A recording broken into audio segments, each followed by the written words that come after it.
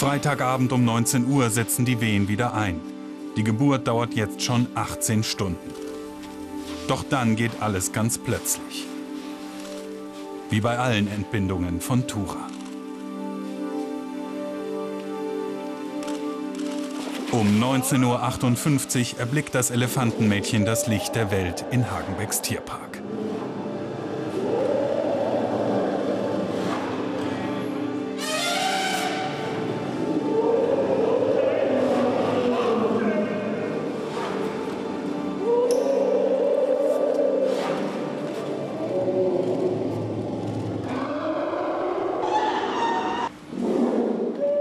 Nach etwa zehn Minuten hält sich das Baby schon allein auf seinen Beinen.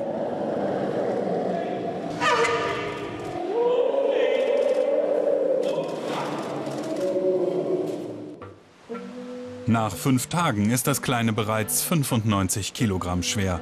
Die Mutter nimmt ihre Erziehungsarbeit auf. Auch in dem überschaubaren Gehege gibt es Gefahren. Erst wenn sie die kennengelernt hat, darf auch der Rest der Herde zurück in die Halle.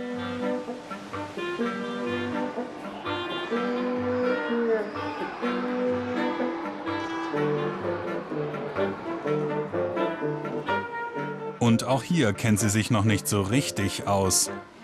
Beim Trinken muss die Mutter ein wenig nachhelfen. Denn das Elefantenmädchen soll viel trinken. Ein Kilo Gewichtszunahme ist bei Elefanten in dem Alter normal. Ein Kilo pro Tag.